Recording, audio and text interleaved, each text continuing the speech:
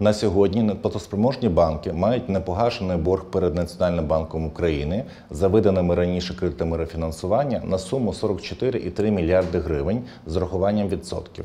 Кредити ж найбільших банків-боржників, окрім майна самого банку, додатково забезпечувались особистими поруками екс-власників та заставою майна майнових поручителів. Сукупний борг найбільших боржників складає на сьогодні 36 мільярдів гривень. Це такі банки, як два банка Олега Бахматюка, фінансова ініціатива і VEB в сумі 10,6 мільярдів гривень.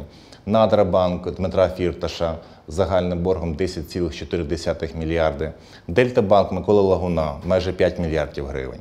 Фінанси та кредит Костянтина Живаго 6,7 мільярди гривень та Імексбанк Леоніда Клімова з боргом в 3,3 мільярди гривень. Саме тому для повернення коштів за кредитами рефінансування Національний банк вживає усі можливі заходи.